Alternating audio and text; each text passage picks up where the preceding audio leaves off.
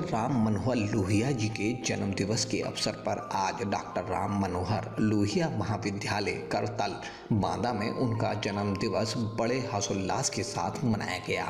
जिसमें प्रबंधक मोहम्मद आरिफ अंसारी और संचालक सुबराती खान, पचारे सतीश चंद्र मिश्रा ने अब उनके चित्र पर माल्य चढ़ाकर पूजा अर्चना की, जिसमें विद्यालय परिसर के सभी अध्यापक और छात्र छात्राएँ उपस्थित रहे।